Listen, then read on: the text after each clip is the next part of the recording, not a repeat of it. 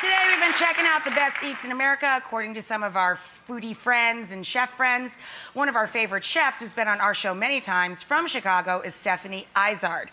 Her restaurants, they're all great. The Girl and the Goat, Duck Duck Goat, best name ever, uh, and Little Goat Diner are some of the most popular places on many of the surveys and lists that we sent out to all of our friends. Our buddy Graham Elliot told us that whenever he's in the mood for comfort food, he's always on his way to Little Goat Diner. Let's see how Stephanie, our friend, cooks up comfort. I'm so happy to hear that you love our food here at Little Goat Diner.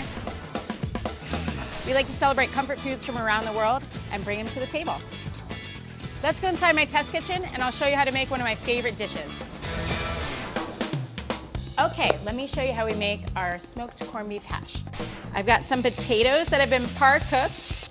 We have corned beef that we make all in-house. The corned beef itself is brined for four days, and then we smoke it. Some yellow onions.